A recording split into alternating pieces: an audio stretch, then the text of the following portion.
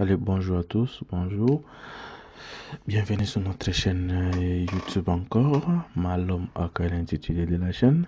Aujourd'hui, nous allons vous présenter une nouvelle application ou bien nous allons concevoir avec vous une nouvelle application. Cette application directement par là de flotteurs avec MySQL. Donc MySQL, nous allons euh, interagir avec la base de données MySQL en y envoyant une image et une donnée à l'intérieur. Donc, euh, ça sera un peu simple. C'est une application très simple et non du tout trop trop complexe. Donc, je vous invite à la suivre attentivement. Donc, l'application aura pratiquement des volets. Il y aura une application flotteur, comme vous êtes en train de la voir là. Il y aura une application flotteur et à côté, il y aura une application web à backend qui vous voyez le code là. Donc, ça sera un peu très simple. Donc, c'est Flutter qui communique avec euh, euh, une application web PHP euh, en backend. Et puis, on interagit avec la base de données MySQL. Donc, on a une table utilisateur dans laquelle on va mettre nos données, on va supprimer, on va modifier, on va ajouter les données. Donc, c'est ce qui est très simple. Donc, on va faire l'application Crowd, Crowd Create read, update and delete. Donc, ces opérations-là, nous allons faire aujourd'hui avec Flutter et MySQL. Et ce qui est très très bien, ça sert en français. En français vraiment, et puis français facile. Et donc, c'est un peu ça. C'est un peu ça. Donc, euh, si vous, euh, c'est pour la première fois que vous nous suivez, essayez de vous abonner. Pourquoi nous avons choisi d'abord de commencer avec une application qui communique avec MySQL? Nous savons que MySQL, c'est une base de données qu'on dit pratiquement euh, gratuite, quoi. C'est une base de données gratuite, euh, accessible, donc vous pouvez faire votre application même en étant euh, offline. Donc, c'est un peu ça. C'est ça la motivation qui nous a poussé avec, à faire avec MySQL.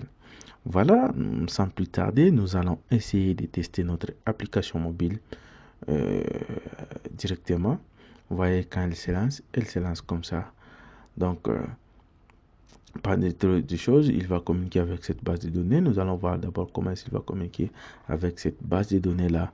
Donc, je clique sur Add. Euh, voilà, j'ai récupéré l'image là-bas. Et j'ouvre par exemple celle-là. Voilà comment il va s'afficher. C'est très beau. Et j'ajoute euh, les noms. Je prends un nom au hasard. Par exemple, euh,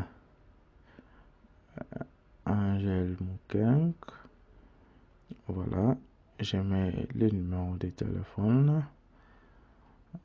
Comme je vais. En tout cas, c'est très simple et puis très beau à faire. Voilà je, je compte vous montrer directement ce qui se passe en back-end pour que vous voyez comment les choses fonctionnent. Donc en back-end, je vais exécuter. Il va me créer un dossier au nom de ce numéro de téléphone là. OK Et puis il va intégrer dans ce dossier là cette image qui est là. Donc c'est très simple vraiment. En tout cas, j'essaie de modifier. Paf, vous allez voir de ce côté-là directement, ça vient de créer le dossier. Vous voyez, les dossiers là en haut, le tout premier dossier. Voilà, c'est celui-là qui vient de créer. Donc, et l'image à l'intérieur déjà. En tout cas, c'est très très bien quand vous faites des choses comme ça, avec surtout, surtout avec notre fameux PHP, langage étudié à l'école. voilà. Et, et encore, vous, vous allez voir que tout sera un peu rapide, même du côté de l'application web. voilà, je, dis, je disais, même du côté de la base de données, tout est déjà disponible. Tout est déjà disponible. Donc, c'est à vous de faire la chose. C'est très simple. Donc, euh, la série de des vidéos va continuer à suivre. Donc là, je vous ai montré comment euh, on a fait l'ajout. On a fait l'ajout, voilà. Angèle Mukeng est là en haut. Et puis, ce qui va rester à faire, on va peut-être modifier.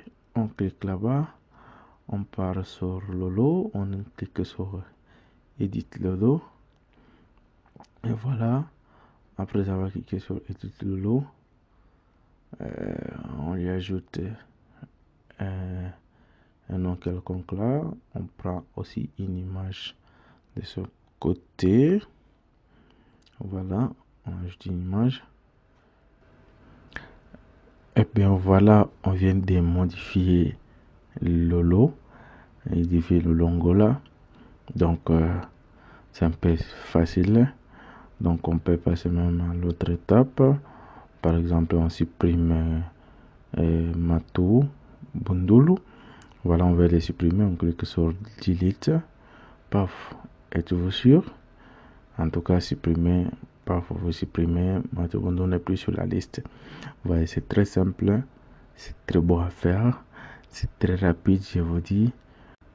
Voilà, en tout cas, tout ce que nous avons à vous dire, c'est si vous n'êtes pas encore abonné à la chaîne, nous vous invitons à vous abonner massivement, vous laissez un pouce si vous aimez et surtout il y a une série de vidéos qui viendra vous montrer étape par étape, minute par minute, seconde par seconde jusqu'à la fin comment vous pouvez élaborer cette histoire.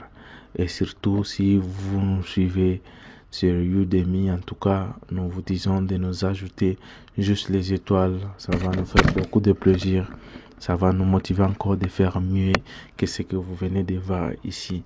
En tout cas, c'est pas aussi mal de faire votre application avec MySQL. À détrompez-vous, je te dis, c'est moins cher MySQL que les autres bases de données. Et puis, c'est moins compliqué. Voilà, je vous invite à vous abonner sur la chaîne YouTube et aimer mes vidéos. Merci.